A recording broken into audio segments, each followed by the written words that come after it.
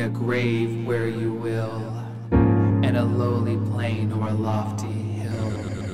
Make it among earth's humblest graves, but not in a land where men are slaves. I could not rest if I round my grave. I heard the steps of a trembling slave.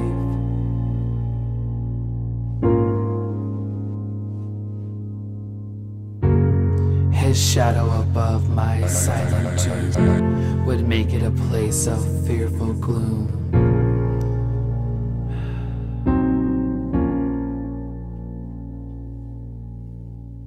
I could not rest if I heard the tread of a coffle gang to the shambles led. And the mother's shriek of wild despair rise like a curse on the trembling air. I could not sleep if I saw the lash drinking her blood at each fearful gash.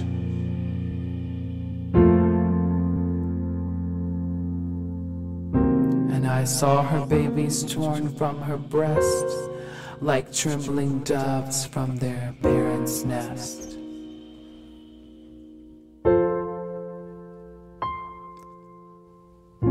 I'd shudder and start if I heard the hay of bloodhounds seizing their human prey.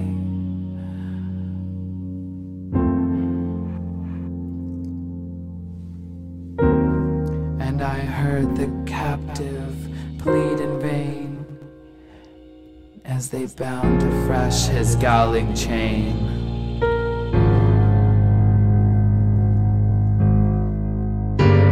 If I saw young girls torn from their mother's arms, bartered and sold for their youthful charms. My eye would flash with a mournful flame, my death pale cheek grow red with shame.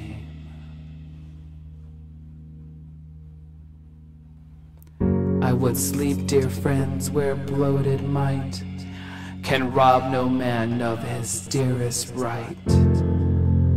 My rest shall be calm in any grave where none can call his brother a slave.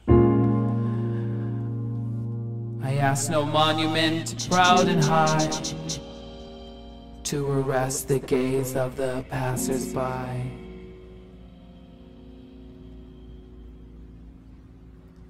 All that my yearning spirit craves is bury me not in a land of slaves.